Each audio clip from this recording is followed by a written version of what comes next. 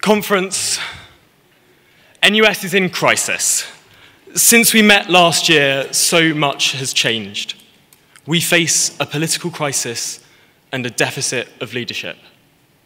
When I stand here today and look around this room, I want to speak for the students who aren't here.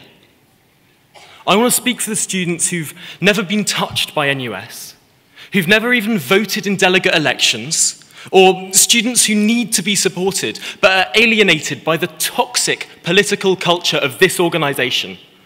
When four SUs vote to leave our organisation in 12 months and many more come incredibly close, we know there's a problem. When Jewish students say they feel unsafe on this conference floor, we know there is a problem. And conference, the solution cannot be more of the same.